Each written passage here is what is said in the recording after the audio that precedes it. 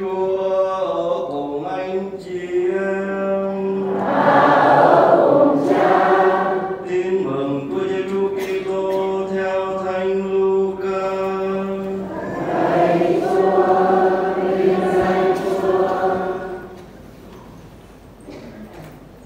Khi ấy được đầy quyền năng thần khí, Đức Giêsu trở về miền Galilee và tiếng đồn người lan ra khắp vùng lân cận. Người giảng chảy trong các hội đường của họ và được mọi người tôn kính. Rồi Đức Giêsu đến Nazareth là nơi người đã được dưỡng dục. Người vào hội đường như người vẫn quen làm trong ngày sa bát và đứng lên đọc sách thánh. Họ trao cho người cuốn sách ngôn chữ Isaiah, người mở ra gặp đoạn chép rằng Thần khí Đức Chúa ngự trên tôi vì Chúa đã sức giàu tấn phong tôi, để tôi loan báo tin mừng cho kẻ nghèo hèn. Người đã sai tôi đi công bố cho kẻ giam cầm biết họ được tha, Cho người mù biết họ được sáng mắt là tự do cho người bị áp bức. Công bố của năm hồng ân của Đức Chúa. Đức Giêsu cuộn sách lại, là lại cho người giúp việc mỗi đường rồi ngồi xuống trong hồi đường trong con mắt đều đổ dồn về phía người. Người bắt đầu nói với họ, hôm nay đã ứng nghiệm lời kinh thánh tai quý vị vừa nghe. Mọi người đều tán thành và thán phục những lời ân trùng từ người phát ra. Đó là lời Chúa. Thưa anh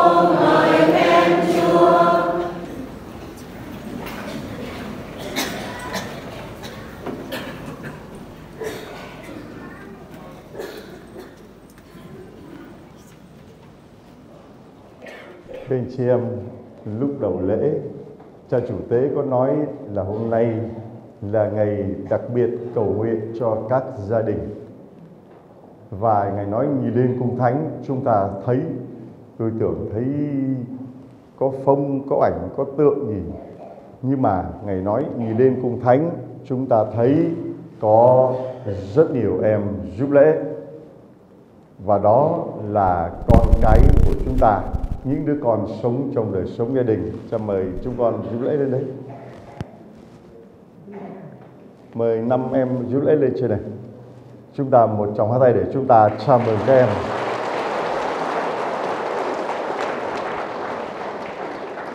Anh chị em thấy ờ, ở đâu mà có ngày thường, mà có bằng này em giúp lễ lên không ạ? Có không ạ? Có lắm. Một em, con tên gì? Mấy tuổi con? 12 tuổi. Còn con tên gì? Mấy tuổi con? 12 tuổi. 11 tuổi. Con tên gì? Khôi. Mấy tuổi? 8 tuổi. Con tên gì? Con mấy tuổi? Muốn đi tu không? Chưa biết. Con tên gì? Con mấy tuổi? Mấy mười ờ, mười ba 17 Mười mấy? mười ba Hả? mười ba 13 Vâng, con muốn đi tu không? Hả? Muốn không? Muốn không? Yes or no? Not yet Yes or no? Not yet Không no mà cũng không yes Vì em chưa biết là gì cả Thưa anh chị em Đố anh chị em tìm đâu được một ngày thường Mà một lễ thường Mà lại có được tới 5 em giúp lễ như thế này? Có những nơi chúng tôi đến Và tôi đi ra một mình Cứ ờ, gì đó rồi lại đi về một mình Không có một em giúp lễ nào cả. Hỏi ra thì cho sở bảo các em nó mắc đi học hết rồi Không có em nào cả. Đứa thì đi học, đứa thì đi học thêm, đứa thì bận rộn Cho nên không có em nào cả. Tôi cứ phải hát cái bài Giờ thì đi sớm về khuya một mình. Cứ lủi thủi ra rồi lại lủi thủi vào. Mà ở đây chúng tôi được rước bởi năm em giúp lễ. Chúng ta nhìn hình ảnh rất dễ thương. Ngày xưa lúc tôi ờ, uh, 6 tuổi thì đã giúp lễ rồi. Mà dưới miền quê uh, thì uh, hồi đó ở thành phố nhưng mà cái sứ đạo nó giống dân miền quê. 3 giờ rưỡi là đánh chuông và 4 giờ sáng là thánh lễ tôi là thằng bé, cỡ bé này. Vừa mới lúi húi ra giúp lễ, hồi đó cha xứ của chúng tôi vừa mới lúi húi ra giúp lễ, mặc cái áo nó dài và có cái dây nó cột, mà vội quá, cột nó không có chặt. Vừa mới bước ra, cái dây nó rớt mất. Cái nó thòng nó rớt ra và cái áo nó trùng xuống. Thằng bé vừa mới lúi húi ra được mấy bước, run té cái râm một phát. Thưa anh chị em, tôi nhớ cái kỷ niệm đó. Rồi thứ hai nữa có, có cái ờ, dùi nước phép đây không tôi mượn cái. Bình nước phép không? hồi đó cha xứ ờ, của tôi nghiêm và nhờ đó mà tôi mới ờ, nên người ngày hôm nay thưa anh chị em. Ngày khó ngày dậy chúng tôi đủ thứ. Nhưng mà hồi đó người ta cứ bảo là nhất quỷ nhì ma thứ ba giúp lễ. Giúp lễ nghịch lắm. Ờ, cho nên là Ừ, cầm cái gửi binh ở đấy. Trời ơi cầm, cầm, cầm gái binh ở đấy.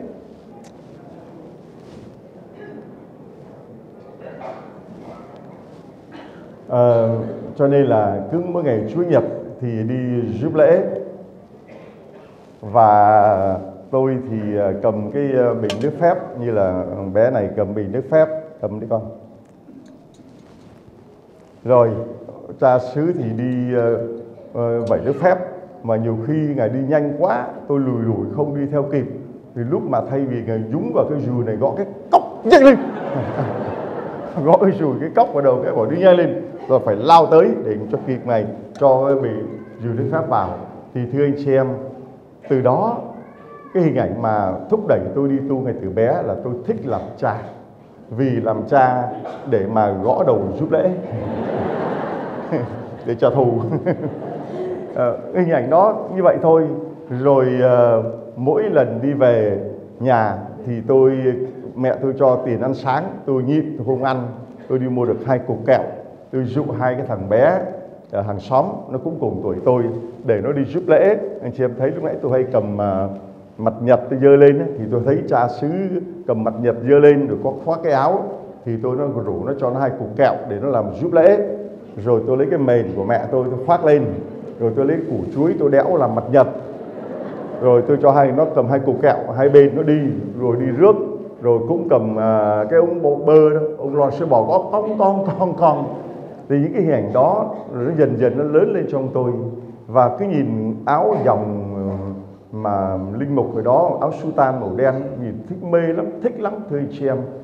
Và từ đó thì cái hình ảnh mà muốn đi tu nó cứ lớn dần lớn dần và đa số những ơn gọi đều bắt nguồn từ các em đời sống giúp lễ, hoặc là tham gia vào đời sống cộng đồng trong những sinh hoạt các đoàn thể, thiếu nhi thánh thể, hoặc là hiệp hội thánh mẫu, hoặc là thanh sinh công, và nhất là tham gia vào các ca đoàn, các người làm cha, làm mẹ trong các gia đình.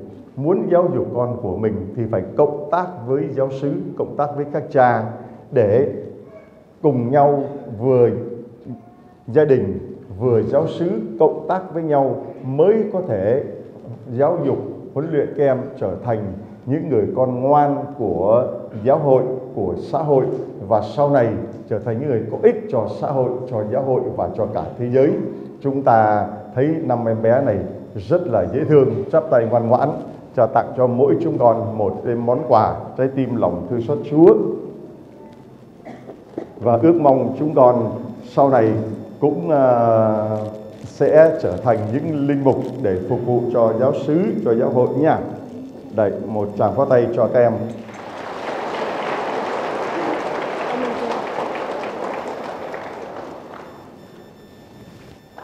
Rồi mời chúng con à, về chỗ. Dễ thương không? Dễ thương không? Cha mẹ mà có những đứa con thế này mà không sướng cho được thưa anh chị em. Rồi à, ngày hôm nay, chúng tôi ờ, đi ờ, sở thú. Khi mà rủ một số các bạn đi sở thú, thì các bạn nói rằng là, thưa cha, cả từ ngày đặt chân đến đất Úc, mấy chục năm nay con chưa có bước chân vào sở thú. Có những người thì bảo 40 năm nay con chưa có đi sở thú. Có những người 25 năm chưa có đi sở thú.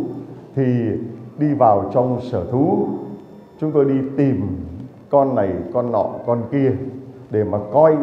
Rồi đến lúc mà nó đề là sư tử với lại cọp. Chúng tôi đi tìm mãi không biết sư tử với cọp nó ở chỗ nào. Thì tôi bỗng thấy đằng sau lưng tôi nó bảo cha ơi, đây rồi cha ơi. Thì tôi quay lại, anh bạn tôi chỉ bảo, đây có bảy con cọp rồi. Bảo, đâu vậy? Bảo, đâu cọp nào? Bảo thưa cha toàn cọp cái thôi. Bạn biết là ai không? Biết không? Biết không? Đâu, bạn đứng lên tôi coi coi và đưa tôi coi có phải không? Thì họ bảo thưa cha ừ, ừ, ừ, cái anh bạn bảo nhà con vẫn có một con mà mà có đâu phải đi coi. Nên con không đi coi sở thú con đi sở thú là không coi cọp. Vì ngày nào con cũng thấy nó rồi. Lúc, lúc đó thì tôi thấy uh, ông chồng vừa nói xong thì bà vợ ở sau bóp cổ ông chồng gầm gừ anh nói vậy phải không? Bỏ cha thấy không? Đó đó. thì thưa anh chị em người ta vẫn bảo là phụ nữ mình là như là cọp cái gọi là như là sư tử vân vân. Mà trong đời sống gia đình mà hôm nay chúng ta cầu nguyện cho cũng cần phải có những uh, sư tử như vậy cũng cần phải có những cọp cái như vậy để mà gìn giữ chồng của mình ở nhà ăn cơm đừng có đi ăn.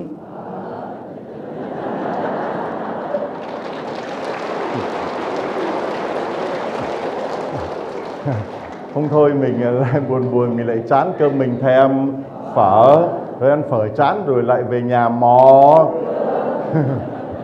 Thì thưa anh chị em, trong đời sống gia đình, chúng ta cần phải có những giây phút chúng ta ngồi bên nhau.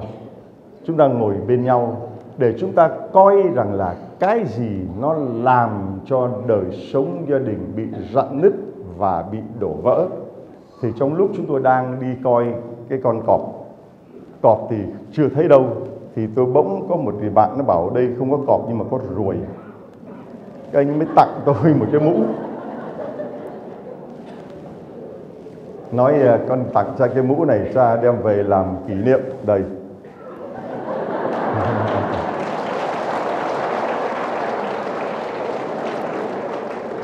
Thế thì khi mà tôi đội cái mũ này tôi thấy nó vướng víu quá nó cứ gì cứ cứ vào mắt tôi nó cứ như thế này. Tôi hỏi tại sao mà lại cái mũ mà lại cứ phải làm mấy cái này để làm cái gì để trang trí hay là để à, làm một kiểu cái gì vậy? Anh chị em ở đây có biết tại sao người ta làm những cái mà nó cứ vướng vướng mắt này quay đi quay lại có đập vào mắt là thế này để làm cái gì không?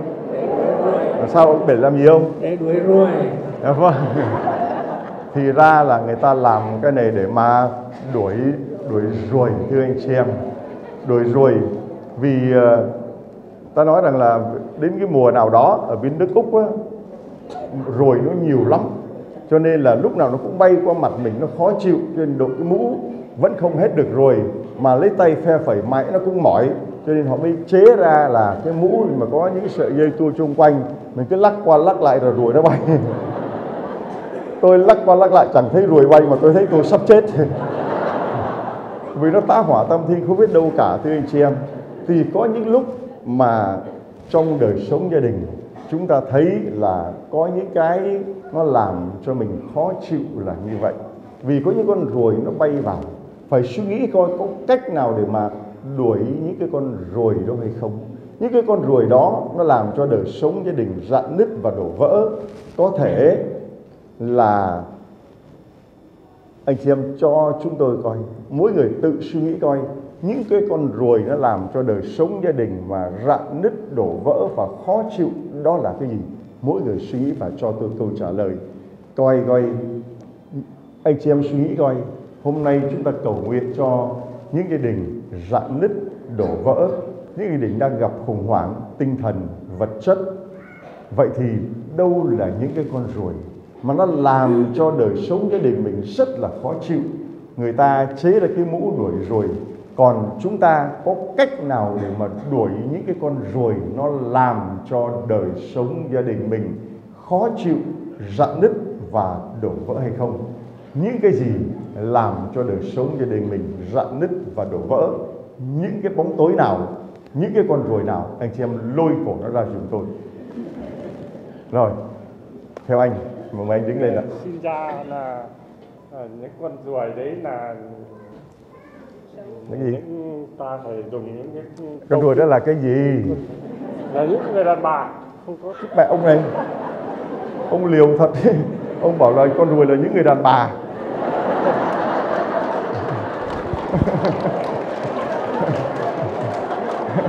Tại sao ông bảo là con ruồi là người đàn bà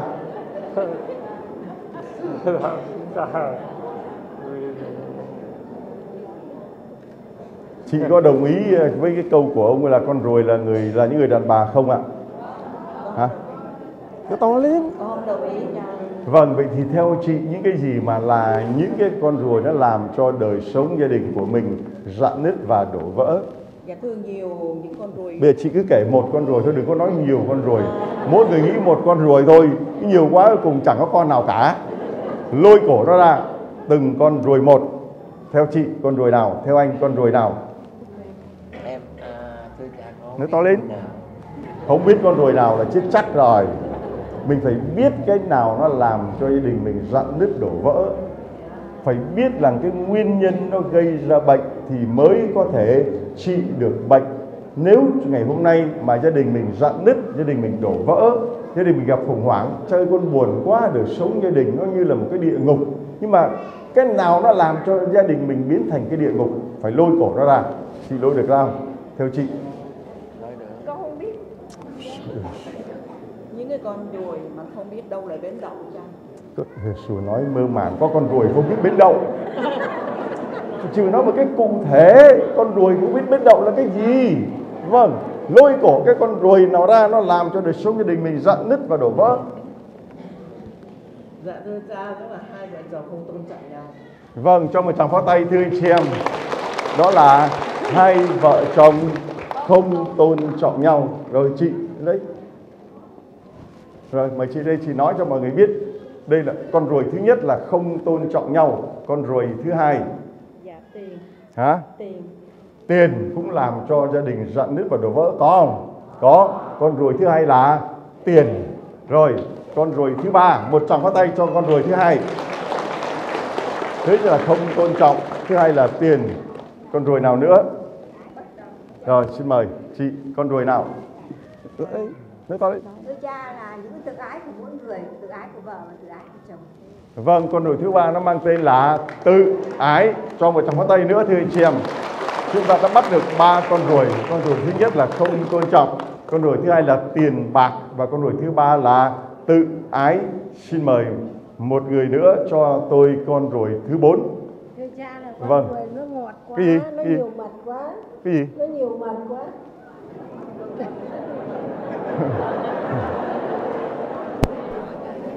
Và này bà nói nhưng mà tôi hiểu rằng là bà bảo nó ngọt quá nhiều mật quá, người ta gọi là mật ngọt thì chết rồi.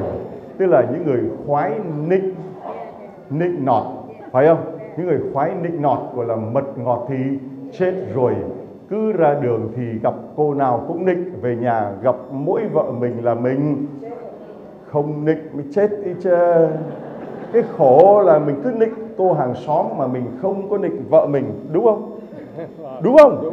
Đúng không? Đúng không? Đúng không mấy bà? Vâng đây là con ruồi nịnh bợ con ruồi nịnh hót.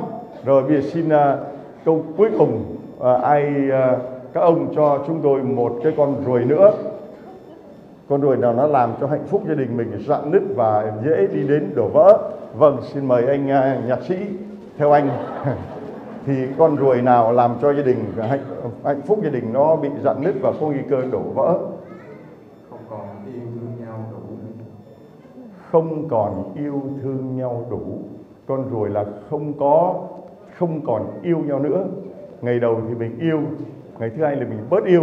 Và tới ngày cuối cùng thì mình không yêu. Không, tôi không còn, tôi không còn yêu em nữa. Không không, tôi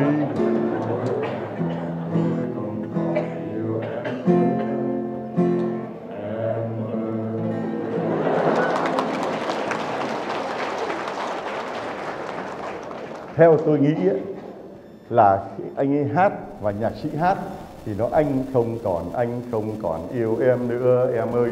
Nhưng mà khi không còn tình yêu có còn nói anh với em nữa không? Không. Không tao không còn tao không còn yêu mi nữa. Đúng không? Chứ đời nào mà anh không còn yêu em phải không? Đó thưa anh chị em đấy chúng ta tóm lại. Thứ nhất là thiếu tôn trọng. Thứ hai là tiền bạc, thứ ba là tự ái, thứ bốn là nịnh nọt, nịnh hót và thứ năm là thiếu mất tình yêu, không còn tình yêu nữa. Cái câu cuối cùng tôi xin lại đi ngược lại, vì cái câu cuối cùng ấy là câu đúng với bài đọc một ngày hôm nay, thư của Thánh Gioan Tông Đồ.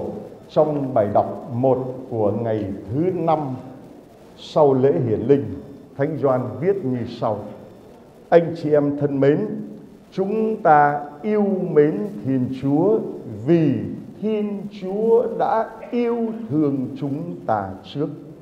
Thưa anh chị em, nhớ kỹ một điều. Mình vẫn nói với Chúa là lạy Chúa, con yêu mến Chúa. Nhưng mà thực sự mình không thể nói là lạy Chúa, con yêu mến Chúa nếu Chúa không đi bước trước. Chúa không yêu thương chúng ta trước thì chúng ta chết chắc rồi.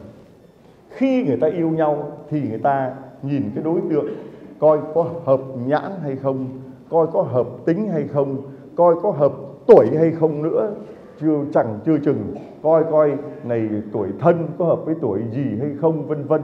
Coi có hợp nhãn hợp tuổi hợp tính hợp nết hay không. Rồi mới bắt đầu tìm hiểu và mới bắt đầu đi đến tình yêu. Còn thiên chúa của chúng ta ngược đời lắm, thưa anh chị em, là không cần biết như thế nào cả. Ta đã dựng nên con là vì ta yêu con. Ta dựng nên con là vì ta muốn thương xót con. Ta dựng nên con vì ta muốn hạnh phúc cho con. Ta dựng nên con vì ta muốn con được ở với ta trong hạnh phúc trên thiên đàng đời đời. Thiên Chúa yêu thương chúng ta trước trước khi chúng ta đáp lại tình yêu của Thiên Chúa, trước khi chúng ta nhận biết tình yêu của Thiên Chúa thì ngay từ ban đầu Thiên Chúa đã yêu thương chúng ta trước. Còn con người mình ít ai chỉ yêu thương người khác trước lắm nếu không thấy người đó hợp với mình. Còn Thiên Chúa bất kể mình có tội lỗi thế nào, mình có bất trung thế nào, mình có bất tín thế nào, mình có vô duyên thế nào thì Chúa vẫn cứ yêu thương. Mà càng tội lỗi bao nhiêu thì Thiên Chúa càng yêu thương bấy nhiêu như Thánh Phaolô bảo rằng là nơi nào tội lỗi càng nhiều thì ân sủng Thiên Chúa càng trang chứa Cho nên anh chị em khi mà mình tội lỗi, khi mà mình phạm tội, khi mà mình xa lìa tình yêu Chúa thì anh chị em đừng thất vọng, đừng ngã lòng, đừng có như tình yêu của con người, đừng có suy bụng ta ra bụng Chúa, đừng có suy bụng ta ra bụng người và càng đừng suy bụng ta ra bụng Chúa. Vì đường lối của Chúa khác xa với đường lối của con người. Suy tính của Thiên Chúa, tư tưởng của Thiên Chúa khác xa với tư tưởng của con người. Thiên Chúa yêu thương chúng ta trước và đi bước trước để tỏ lòng thương xót con người và lòng thương xót của Thiên Chúa là như vậy. Nói về lòng thương xót của Chúa không phải là tôi đến với Chúa để tôi đón nhận được ờ, lòng thương xót của Chúa rồi tôi mới yêu Chúa. Nhưng khi Chúa yêu thương chúng ta, ban cho chúng ta những ơn phúc rồi chúng ta mới chạy đến với lòng thương xót Chúa mà có những người nhận được biết bao nhiêu lành của Chúa mà vẫn không chạy đến với lòng thương xót Chúa vẫn nghe lời hát là đến với lòng Chúa xót thương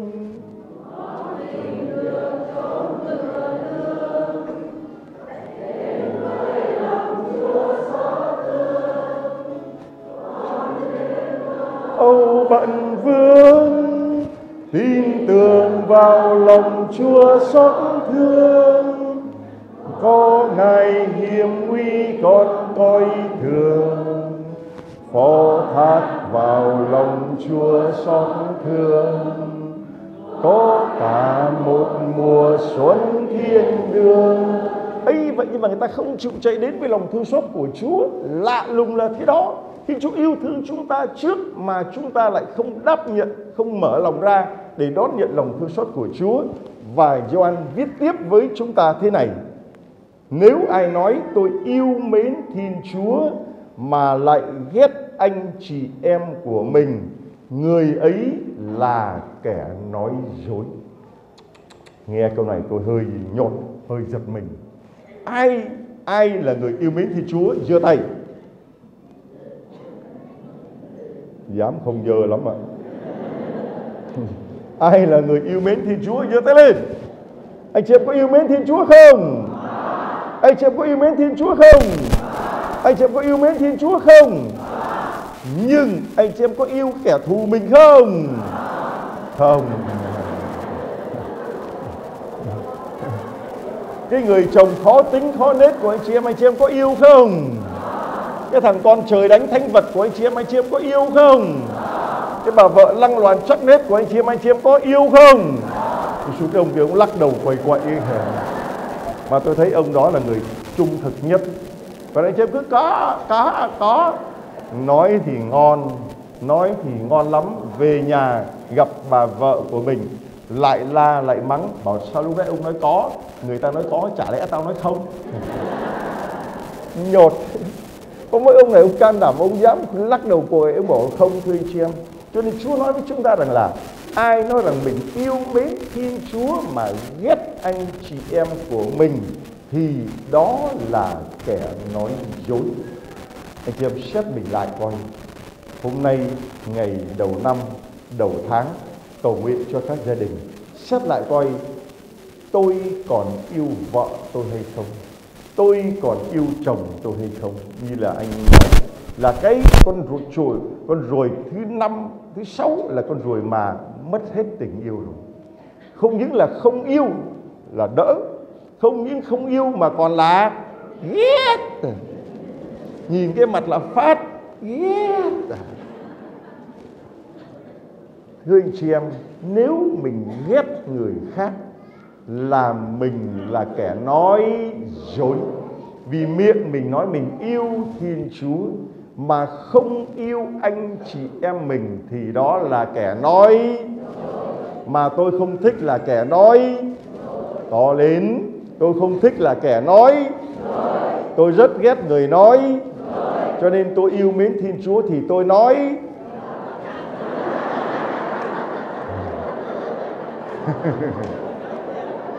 không dám mạnh dạn lên. Tôi yêu mến thiên chúa là tôi nói thật. Và tôi không yêu người anh em của tôi tôi ghét người anh em của tôi là tôi là kẻ nói cũng thật luôn. Thật lòng là tôi ghét. Thật lòng là tôi ghét. Tôi nói thật, tôi không có ưa bà đâu đó bà. Tôi nói thật, tôi không có ưa anh đâu đó anh. Tại vì anh giàu hơn tôi. Tôi không có ưa cô vì cô đẹp hơn tôi. Tôi không ưa anh vì anh sang hơn tôi tôi không có ưa anh vì anh nổi tiếng hơn tôi. Thật lòng mà nói, tôi không có ưa, tôi không có thích. Nhưng vì rằng thì là tôi yêu mến Thiên Chúa.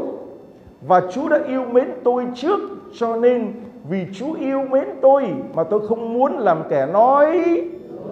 Cho nên tôi mới biến đổi cái sự ghét đó, sự khó chịu đó bằng việc là tôi tôn trọng anh tôi bớt cái tự ái của tôi đi như cái con ruồi. Thứ hai nói là tôi tôn trọng anh.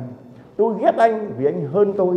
Nhưng mà bây giờ tôi tôn trọng anh, tôi tôn trọng cái khác của anh, tôi tôn trọng cái tài của anh, tôi tôn trọng cái giỏi của anh, tôi tôn trọng sắc đẹp của cô, tôi tôn trọng cái tài hát hay đàn giỏi của cô, tôi tôn trọng cái sự nổi tiếng của cô, tôi tôn trọng cho nên tôi mới yêu cô vì tôi không muốn trở thành kẻ nói.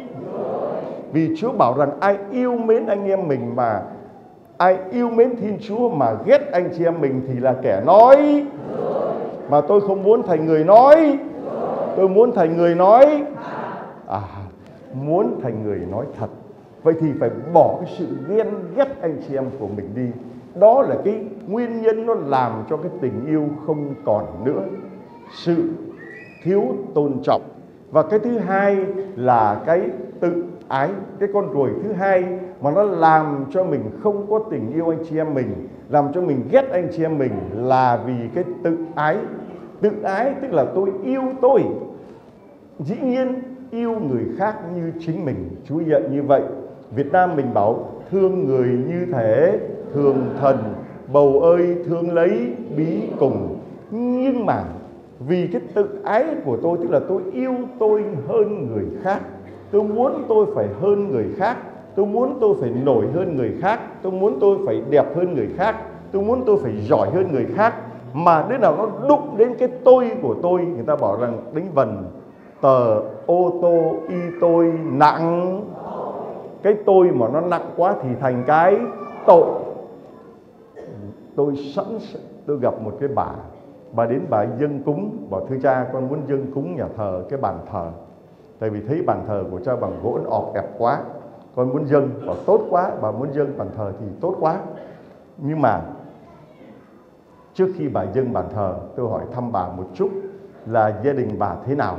Thưa cha Giêsu Maria, gia đình con nó chán lắm, trời. Cái thằng chồng con Giêsu Maria, cái thằng chồng trời đánh thánh vật. Giêsu Ma, cái thằng đó Giêsu Ma, cái thằng đó. Bà này, bà bà ơi, bình tĩnh, bà đang nói ai đó? Bà thưa cha, con đang nói cái thằng chồng nhà con. Thì tôi nói, bà dâng cho tôi cái bàn thờ đáng giá cả bạc tỷ. Tôi rất là trân trọng cái đó. Nhưng nếu bà thay vì bà dâng cho tôi cái bàn thờ một tỷ bạc, thì tôi xin bà thay vì dâng cái đó, bà dâng cho tôi hay là dâng cho Chúa cái tự ái của bà được không? Vì tại sao bà gọi thằng chồng tôi nó thế này thế kia? Nhớ thiếu cha tại nó chạm đến tự ái của con Tại vì nó thế này, nó thế này, thế nọ, thế kia Cho nên con tức nó lắm, còn tức nó, còn giận nó lắm Còn nó này, nó nó này, nó này, nó này. Ừ, ừ, xong rồi ừ, còn hát Tại anh đó nên chúng mình tăng tăng. Thì thưa anh chị em cứ đổ tại chồng của mình. Tôi nói thôi tôi cảm ơn bà. Vậy thì về bà về bà suy nghĩ lại đi. Thay vì dâng cái bàn thờ một tỷ bạc tôi không nhận đâu mà tôi chỉ xin bà dâng cái tự ái của bà để gia đình bà được hạnh phúc. Bà tôn trọng chồng của bà để chồng của bà cũng tôn trọng bà. Bà tha thứ cho chồng bà để chồng bà cũng tha thứ cho bà. Và um, bà hãy làm cho tình yêu của gia đình mình nó hâm nóng lại cái tình yêu đó đi. Tình yêu đó bị nhạt nhòa tình yêu đó bị phai lạc và tình yêu đó bị mất. Tại vì hai người không tôn trọng nhau tại vì ai cũng có cái tự ái to đùng. Tự ái to đùng tự ái to đến mức độ mà sẵn sàng dâng hiến một tỷ đồng làm cái bàn thờ nhưng không cái dâng cái cục tự ái của mình lên cho Chúa. Thôi tôi cảm ơn bà bà cầm một tỷ đồng bà về và bà làm ơn để lại cái tự ái của bà cho tôi. Nói vậy mà cũng còn ừ, không thèm nhận. Ừ, ừ, ừ, ừ, ừ, đi cho nhà thờ khác chứ mình, mình tưởng rồi. Ừ, con này ấy, ừ. Ôi trời bà thấy bà tự ái lên chưa? Nhận thấy không? Có cái tự ái, đó, cái tự tôn của bà lớn quá mà. Bà cứ nghĩ rằng bà có tiền, bà vô bà điều khiển tôi, bà tôi thấy một tỷ là mắt tôi sáng lên được. Tôi kệ gia đình bà sao tôi không cần biết, miễn làm sao tôi có một tỷ trong nhà thờ là ngon rồi. Ngon không? Ngon không? Ngon chứ, một tỷ lấy không? Thích không? Ham không? Muốn không? Lấy không? Không.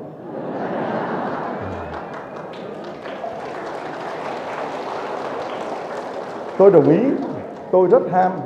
Tôi rất muốn. Tôi rất thích. Nhưng tôi không lấy. Tại vì, thưa anh chị em, mình lấy như vậy vô tình mình làm cho người ta thấy rằng họ yêu mến thiên chúa mà thôi là đủ rồi. Vì yêu mến thiên chúa, họ mới dâng hiến bàn thờ cho chúa chứ. Phải không ạ? Đó là điều rất đúng, rất thật, rất trân trọng. Họ yêu mến thiên chúa, họ mới dâng. Nhưng mà nơi họ vẫn còn chỉ có một chiều thôi. Anh chị em nhìn lên cây thánh giá. Anh chị em nhìn lên cây thánh giá, anh chị em thấy có chiều dọc và chiều ngang. Chiều dọc là con người hướng về thiên chúa. Con người thờ lạy thiên chúa, con người yêu mến thiên chúa. Nhưng chỉ có một chiều đó thôi thì chưa đủ. Cho nên, bái không chịu tha thứ cho chồng.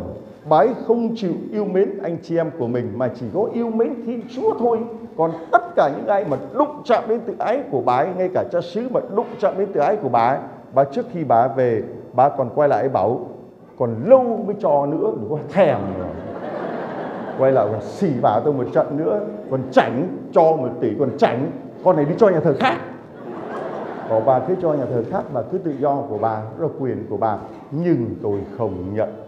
Để cho bà thấy được rằng là bà là kẻ nói dối vì lời Chúa nói là anh yêu mến Thiên Chúa mà không yêu thương anh chị em của mình là kẻ nói dối mà.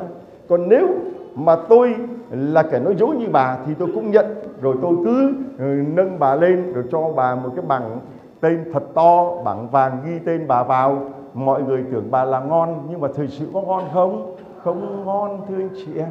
Có nhiều lần mình phải chiến đấu với cái ham muốn của mình chứ có nhiều lần mình phải thắng cái tôi của mình, ai mà chẳng muốn có tiền, nhưng mà không phải bất cứ giá- nào cũng phải có được tiền. Không, đồng tiền ấy không chân chính, đồng tiền ấy không rõ ràng, đồng tiền ấy không dùng vào đúng mục đích. Tôi không nhận, không dùng, không lấy.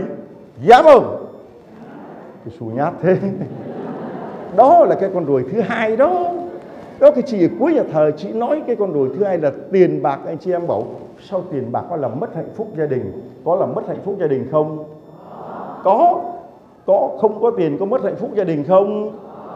Có tiền có mất hạnh phúc gia đình không? Mà có chúa có mất hạnh phúc gia đình không? À đó là cái điều mà chúng ta cần phải suy nghĩ lại.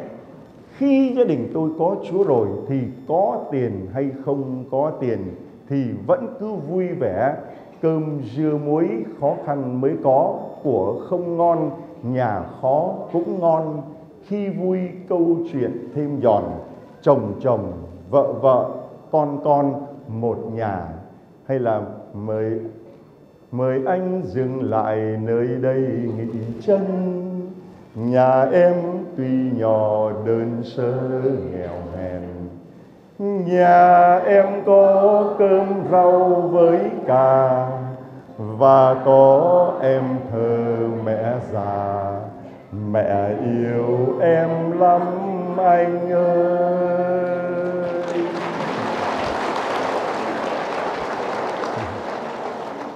Nếu mà có cha xứ ở đây tại vì ngài đang bị mất tiếng ngài không làm lễ được thì tôi xét mời cha dừng lại Brandon nghỉ chân. Được không? Brandon ấy, mời anh, mời chị, mời những anh chị em ở những tiểu bang khác, ở những nước khác ghé vào đây, Brandon. Phải không? Đây là sư Brandon, đúng không ạ? Tôi nói vậy có đúng không? Rồi mình hát được không? Mời anh, mời chị, mời ai cũng được. Mời anh dừng lại, Brandon, nghỉ chân. Nhà con tuy nhỏ, đơn sơ, nghèo hèn. Nhà con có bây giờ cơm rau với cà thì mình có cái gì? Mình có cái gì? Có chà long không ừ, lại chúa thôi tôi bảo phải chà long nào đây? Nhà em có lòng thương xót chúa. Chính vì nơi đây có lòng chúa thương xót. Chính vì nơi đây lòng chúa thương xót, đang mời gọi anh chị em đến để ngài yêu thương anh chị em trước và ban ơn cho anh chị em cho nên anh chị em mới lặn lội, mới lũ lượt, mới lách thách, mới lang thang mà mới đến tận nơi đây. Mà trong số này có nhiều anh chị em là những người ngoại đạo. Có cả một gia đình mãi từ Melbourne qua đây cả 4 năm ngày rồi, mà tất cả không có ai có đạo hết. Mà nói rằng con đến đây chỉ để đi lễ mà thôi tôi nói là thôi con đi lên con sò đó đi chơi đi con lên uh, ra Chinatown đó chơi đi sở thú chơi đi. Dạ không. Chúng con đến đây mẹ con nói là đến đây để đi lễ. Bảo nó đi chơi nó không đi mà nó cứ đi lễ. Còn con cái của mình có đạo bảo nó đi lễ thì nó cứ đi. Sư thưa anh chị em thế trong cuộc sống này cái điều mà cái con ruồi của cái sự thiếu tôn trọng cái con ruồi của tự ái con ruồi của thiếu tình yêu và cái con ruồi của tiền bạc, nó làm cho gia đình mình dễ mất hạnh phúc lắm, thưa anh chị em. Hôm nay đi sở thú, chúng tôi ờ, nghe nhiều câu chuyện. Trong đó có câu chuyện của một gia đình. Cô ấy sang đây 13 tuổi, đang học đến tuổi 17 học lớp 10 gì đó, thì phải lòng một chàng trai 22 tuổi. Chàng này là một chàng lãng tử ăn chơi khét tiếng và sang bên đất Úc này đã từng đánh lộn với cả cảnh sát và cảnh sát tí nữa thì lôi cổ ném anh về Việt Nam. Cô nàng yêu ai không yêu thì cứ yêu cái anh chàng trời đánh thanh vật này. Tình yêu mà thưa anh chị em, làm sao định nghĩa được tình yêu nó chiếm hồn ta một buổi chiều bằng những cơn gió lộng và gió hiu hiu gì đó cho nên hai người mới phải lòng nhau và cô nàng tiếp tục đi học và vừa là nữ sinh mà lại vừa là người mẹ vì lúc đó cô ấy mang thai. Cô ấy sinh đứa con, học đến hết lớp 11 thì cô ấy đành phải nghỉ để cho anh ấy. Cô ấy nói với anh ấy rằng là anh ấy ở đây mà không đi học thì làm ăn không được đâu. Nên cô chấp nhận ở nhà nuôi con để thúc đẩy anh ấy đi học. Anh ấy đi học thì cô ấy lo hết mọi chuyện và ngày đám cưới hai người làm đám cưới với nhau thuê được một căn phòng mượn được một cái giường khổ nỗi cái giường ấy bốn chân nó không bằng nhau một cái chân nó bị thấp chân thấp chân cao. Cho nên đêm đầu tiên hai người lên cái giường cái thân thấp chân cao nó cứ lắc la lắc lư giống như là uh, hát cái bài gì mà uh, say sóng uh, hoa bạch, hoa biển này Trung dương nổi sóng, lênh đênh trên sóng, thấy tung tình tình ta chỉ thấy mà hai người nằm trên cái giường nó có bập bềnh như sóng, thưa anh chị em, nó nghèo đến mức độ như vậy. Nghèo đến mức độ mà bố mẹ sang thăm, anh ta phải đi nhặt từng đồng kẽm, đi hốt từng đồng kẽm, bán từng cái lon để mà mua cơm cho bố mẹ ăn để thằng bố mẹ tưởng thằng con mình nó săn đất nước nó khá, ai ngờ nó nghèo còn hơn cả cái người nghèo ở Việt Nam. Nhờ cái cô vợ cứ thúc đẩy chồng mình cố gắng học lên và anh ấy đã học xong đại học, lấy cái bằng master rồi. Nhưng mà ra rồi thì vẫn cứ nghèo và hai người vẫn chưa biết lòng thương xót Chúa như thế nào. Rồi cô ấy phải về nhà, tưởng rằng là mình đi nước ngoài để gửi tiền nước ngoài về cho bố mẹ ai ngờ phải trở về Việt Nam để xin tiền bố mẹ sang đất nước ngoài để mà sống. Nó nghịch đời như vậy. Nhờ bố mẹ giúp đỡ, hai vợ chồng bắt đầu ăn nên làm ra. Mà anh ta là một tay tứ đổ tường. Không có thiếu cái gì cả, cờ bạc, rượu chè, gái gú không thiếu cái gì cả.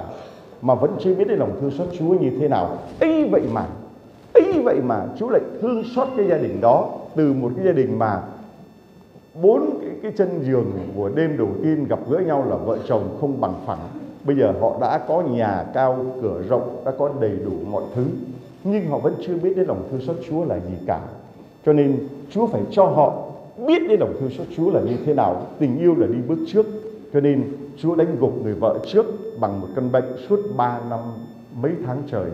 Người lúc nào cũng bị dị ứng mà lúc nào cũng ngứa ngứa khủng khiếp mà không có làm sao mà nó hết được người ta bảo là gãi đúng chỗ ngứa mà anh chồng anh gãi suốt chỗ nào anh cô cũng ngứa thì làm sao mà gãi?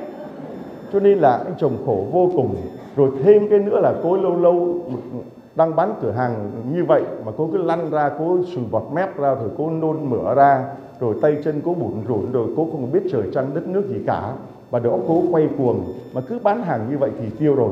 Trong lúc đó, gia đình vẫn chưa nhận biết lòng thương xót Chúa. Chúa làm cho anh ấy 7 năm bị một căn bệnh đó là anh cầm cái điện thoại anh coi anh đi ngược chiều rồi anh té đập đầu vào cái cửa và nó bị chấn thương cái cột, cột sống cổ và anh ấy bị dường như là bị liệt không thể đi đứng vững vàng được.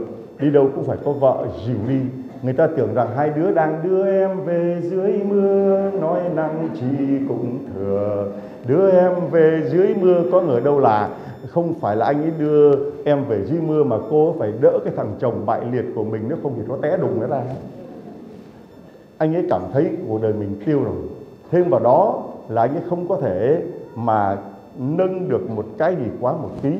Trong lúc hai người đang làm ăn rất khá, bán đất, bán đai, bán nhà, bán cửa đi, chạy thầy, chạy thuốc, hết bạn là bác sĩ nổi tiếng ở bên đất úc này, rồi bác sĩ nhật, bác sĩ tây, bác sĩ ta, bác sĩ tàu đủ thứ hết, vẫn không có thể chữa được cái một bữa kia thì cô ấy về việt nam, gặp một cái anh bạn anh bạn này mới hỏi bệnh và anh ta được lòng thương xót chúa chữa lành.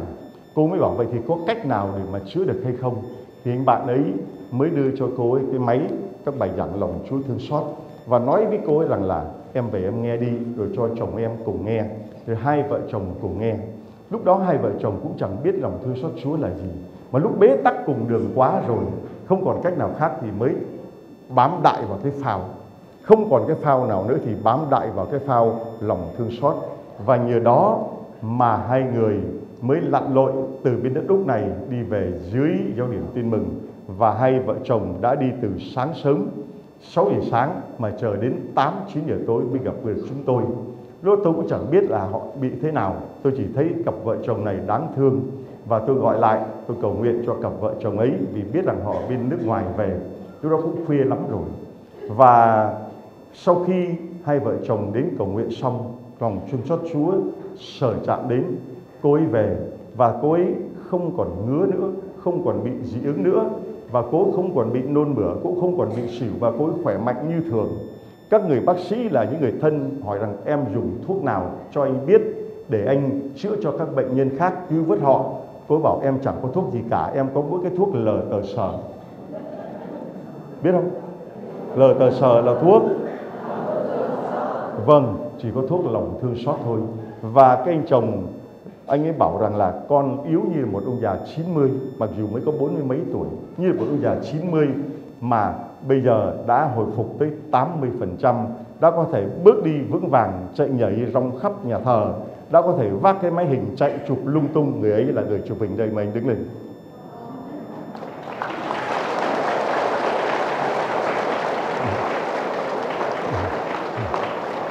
Đây là người mà vô cùng cứng lòng không có ai quỵ đánh gục anh ấy được. Anh ấy chẳng tôn trọng ai chẳng coi trời là gì chẳng biết đất là sao chỉ có biết ta thôi. Và hôm nay anh ấy đã hoàn toàn bị Chúa đánh gục được lòng thương xót Chúa cứu vớt. Tình yêu là như vậy. Không biết là vợ của anh có ở đây không? Dạ có. Có không? Vâng thưa anh chị em đây mời ờ, cô lên đây. Tôi gửi tặng lại cho cô cái máy, chiếc máy là cái phao lòng thương xót Chúa đã cứu vớt cuộc đời của vợ chồng cô. Vì nếu mà không có lòng thương xót Chúa, thì có lẽ ngày hôm nay hai người có thể là đại gia, cũng có thể là toàn gia. Nhưng mà chắc chắn là không có lòng thương xót Chúa cứu vớt. Đây tôi gửi tặng cho hai vợ chồng. Cái máy là cái phao của lòng Chúa thương xót và gửi tặng cho trái tim lòng thương xót Chúa nha. Cảm ơn vâng, cha. xin Chúa chúc lành cho anh chị.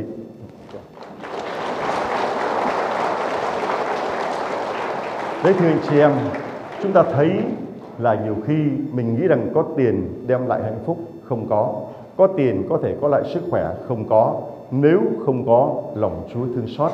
Mà bài tin mừng ngày hôm nay Chúa Giêsu là người đã làm cái công việc đó. Thần khí Chúa ngự trên tôi, sai tôi đi loan báo tin mừng.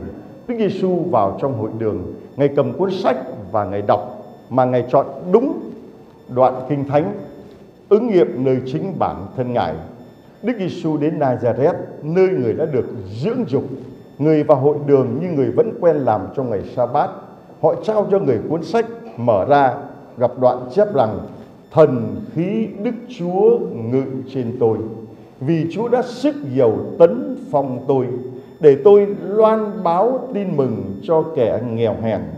Người đã sai tôi đi công bố cho kẻ bị giam cầm biết họ được tha, cho người mù biết họ được sáng mắt, trả lại tự do cho người bị áp bức, công bố một năm hồng ân của Đức Chúa.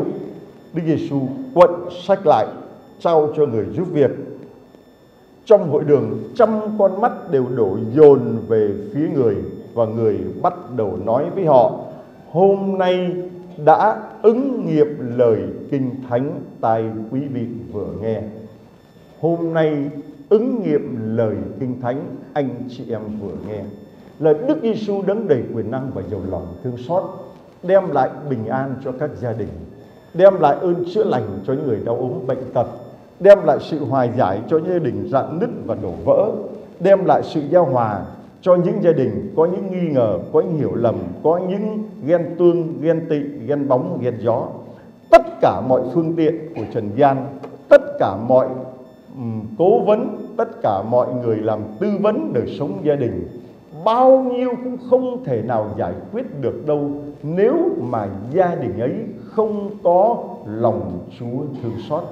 Nếu mà người cha, người chồng nếu mà người vợ, người mẹ và nếu các con, nếu gia đình ấy không đón nhận lòng thương xót của Chúa thì bao nhiêu tiền của danh vọng, chức tước, địa vị tất cả đều vô ích hết. Mà đôi khi càng có quyền càng mất hạnh phúc, càng có tiền càng mất hạnh phúc, càng danh vọng càng mất hạnh phúc, càng nổi tiếng càng mất hạnh phúc, đúng không? đúng không? Anh chị em thấy biết bao nhiêu những tài tử biết bao nhiêu người quyền cao chức trọng biết bao nhiêu ông vua bà chúa trai năm thê bảy thiếp. Rồi ông ăn trả thì bà ăn không? Mấy bà bảo vui gì không ăn? Ông ăn trả, bà anh em mấy đứa con thì làm cái gì? Mấy đứa con lem nhem đi ăn, hủ tiếu. Thế thôi, thưa anh chị em. Không có không có thể nào có được hạnh phúc gia đình nếu mà gia đình ấy không họp nhau lại mà lần chuỗi lòng thương xót Chúa. Nếu mà gia đình ấy không họp nhau lại mà để cho tình yêu của Thiên Chúa đi bước trước chiếm hữu gia đình của mình.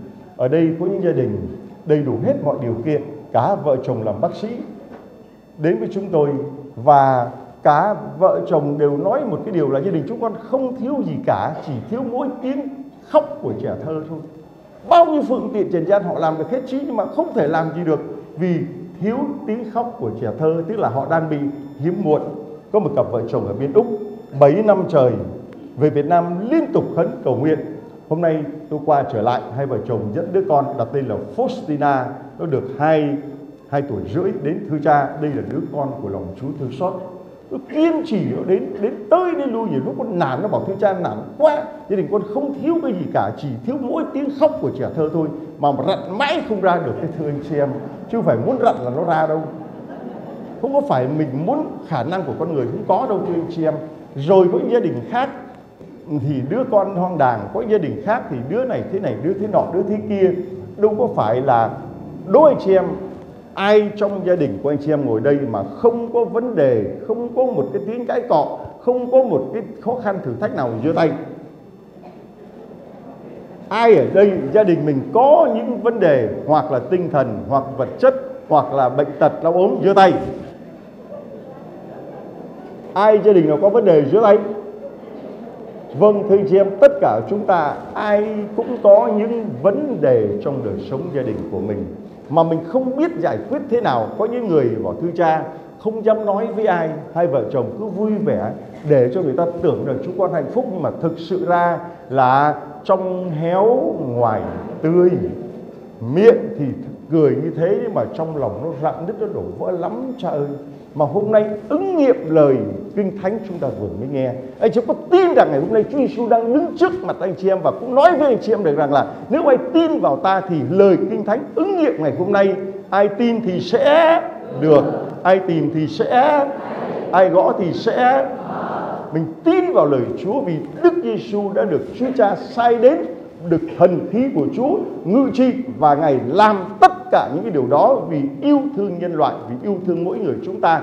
Nếu chúng ta dám thực hành lời Chúa, yêu thương nhau, yêu thương mãi, vì chúng ta đều là anh em cùng một nhà. Yêu thương nhau, yêu thương mãi.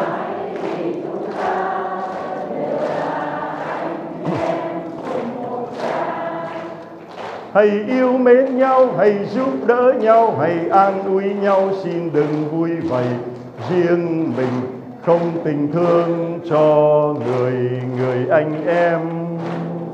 Đừng khích bác nhau, đừng nói xấu nhau, đừng chia rẽ nhau, nhưng hãy mang tình kết đoàn, đem tình thương cho người khắp mọi nơi. Hay bạn, yêu thương nhau.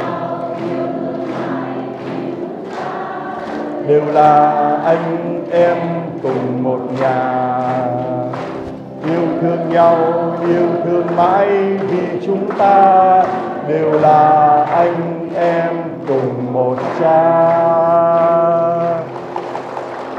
và thưa anh chị em, đây là những người đang yêu thương nhau họ đã đến với nhau, họ đã sống với nhau trong đời sống gia đình và hôm nay họ đem nhau đến trước bàn thờ để dâng lên Chúa những của lễ của đời sống gia đình. Xin mời các anh chị và các cháu chúng ta cùng quay xuống.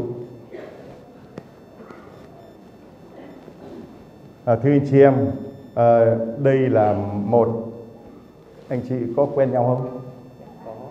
Quen nhau như thế nào? À, vợ chồng được bao nhiêu năm rồi? Vâng, đây là một cặp vợ chồng 18 năm họ dâng lên Chúa bức ảnh thánh gia Thánh Giuse và Đức Mẹ đã sống đời sống gia đình. Chúa Giêsu cũng đã ở trong gia đình với Thánh Giuse Đức Mẹ 30 năm cho nên tất cả những vui buồn, sướng khổ trong cuộc đời của gia đình, tất cả những tủi nhục, tất cả những khó khăn, anh chị em biết rằng Chúa đã cảm, Thánh Du Xe đã sống, Đức Mẹ đã nhận những cái đó để ngày hôm nay nếu trong đời sống gia đình của anh chị em có những vấn đề thì anh chị em hãy biết rằng Chúa, Đức Mẹ, Thánh Du Xe đã sống như vậy và Ngài chắc chắn sẽ phù hộ cho chúng ta nếu chúng ta chạy đến với gia đình của Thánh Gia và kế tiếp là bên à, tay phải chúng tôi anh với cô này có quen nhau không? Hả? Tôi không biết. Thấy anh chị đưa nhau đến tôi không biết cô có biết anh này không? Có chứ. Anh ấy là gì của cô? Dạ là người yêu. Xin người yêu người chồng người bạn người nào? Chồng cho một tràng pháo tay, thưa anh chị em. Câu trả lời của cô rất hay, đó là đây là người yêu của con và là người chồng của con. Vì có những người yêu người không lấy mà lại lấy người không yêu. Có không? Lấy người mình không yêu mà mình yêu cái người mà mình lại không lấy được, mà đây lại lấy được người mình yêu. Cho nên đây vừa là người yêu, vừa là người chồng một tràng pháo tay cho một gia đình. Ờ, anh ờ, chị ờ, là đạo gì? Dạ con là công giáo. Còn người yêu? Phật giáo. À, không. Hả? Không Vâng, đây là một cặp hôn nhân khác đạo. Chị là người công giáo, anh là người không công giáo. Mà họ vẫn yêu thương nhau, họ vẫn sống với nhau hạnh phúc được bao nhiêu năm rồi? dạ 25 năm. 25 năm, một trong các tay cho ngày Nguyên Khánh. Năm nay họ kỷ niệm 25 năm. Họ khác đạo, anh ấy không phải là người đạo công giáo, nhưng anh ấy sống đạo còn hơn người có đạo nữa thưa anh chị em. Mà hôm nay giáo hội cho phép hôn nhân khác đạo đạo ai người ấy giữ cho nên nếu chúng ta có mấy bà bà bảo thứ cha khổ quá đi mất bây giờ cái con nhà con thì nó công giáo mà trong xóm thì ờ, nó muốn lấy người công giáo mà chẳng đứa nào chịu lấy nó rồi toàn những cái đứa không có đạo nó thương nó bây giờ con phải gả nó cho cái người không đạo chứ bây giờ gả cho ai bây giờ đúng không Đúng thưa anh chị em phải chấp nhận như vậy vì giáo hội đã chấp nhận và cho phép là cho phép chuẩn hôn nhân khác đạo. Cho nên chúng ta đừng quá khắt khe và cũng đừng quá cho rằng những người không đạo là những người thế này thế nọ thế kia. Đây là một mẫu gương, một gia đình hôn nhân khác đạo nhưng mà sống hạnh phúc suốt 25 năm và người không có đạo đã sống đạo còn hơn cả là người có đạo. Và cặp thứ ba à, đây là cái gì? Chị dâng lên Chúa cái gì? Nó to lên. Trầu cau. Còn anh dâng cho Chúa cái gì? Chúa hai trái tim của một gia đình chúng con. nó to lên. Là con dâng lên cho Chúa hai trái tim của một gia đình chúng con. vâng trầu cau và hai trái tim. Đấy một trái tim. Nặng quá đi bằng cái gì mà nặng thế vâng thưa anh chị em.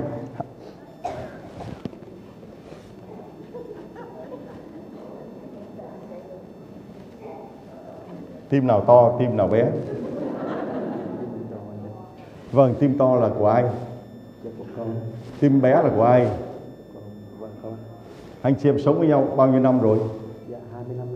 Vâng, cũng 25 năm thưa anh chị em. Và đây là anh chị, các bà cho tôi biết này là trái gì? Vâng, đây là trái cây là trái gì? Cau và lá trầu. Chúng ta biết chuyện trầu cau rồi, đúng không ạ? Chuyện vợ chồng như là chuyện là trầu cau, cây cau và lá trầu nó cứ phải quyện lấy với nhau à, bà nào ăn trầu thì biết là trầu cau nó phải quyện vào thì nó mới thành chầu cau nó mới ngon và mới có bài chung kết chầu cau, biết không ạ?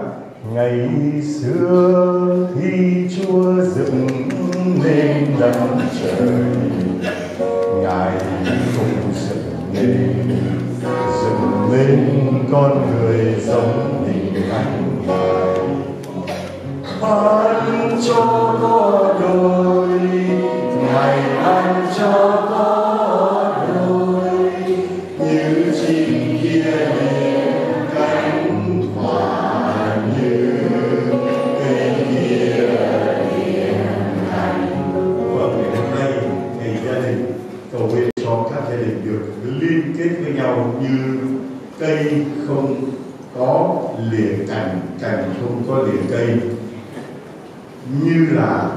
chim dính với con chim. Không có thể có con chim nó bay được nếu không có đôi cánh vợ chồng gắn kết, liên kết với nhau như trầu cau, như hai trái tim. Không còn là trái to, trái bé, nhưng mà đều ở trong trái tim của Chúa Giêsu đều ở trong lòng thương xót của Chúa. Và thưa chị em, cặp vợ chồng này trong đời sống rất thường tình, anh dâng lên Chúa những cái gì đây? Cha trà xanh. Và đây là chén tách, đây là trà xanh, thưa anh chị em. Người Việt Nam mình, gọi là miếng trầu là đầu câu chuyện. Rồi khách đến nhà không, gà thì vịt. Và những lúc mà vợ chồng ngồi bên nhau, ta uống ly trà xanh. Ta tâm sự với nhau, ta nhỏ to với nhau. Ta nói chuyện với nhau, ta kể với nhau. Ta xin lỗi nhau, ta làm hòa nhau. Bên ấm trà xanh sướng hơn là đi ra bên ly cà phê ồn.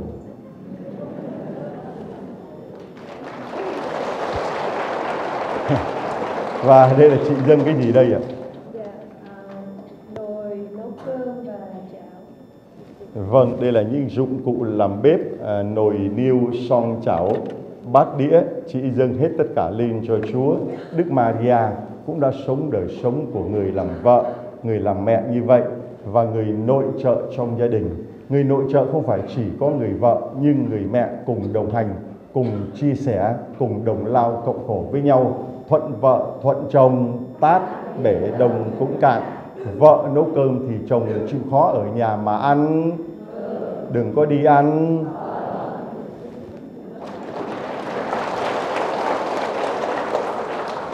Mời anh chị em, chúng ta cùng hát lại bài hát yêu thương nhau, yêu thương mãi để xin Chúa gắn kết các gia đình lại với nhau. Yêu.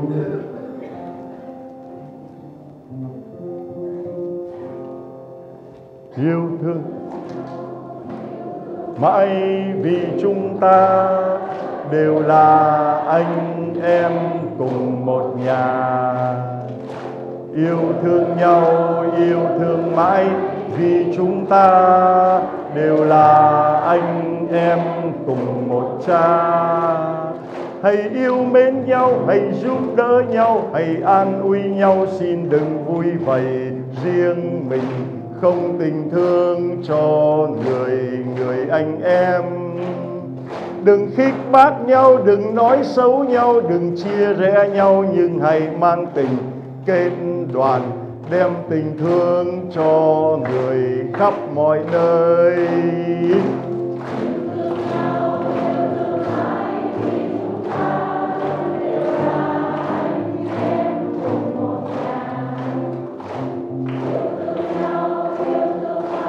Vì chúng ta đều là anh em cùng một cha.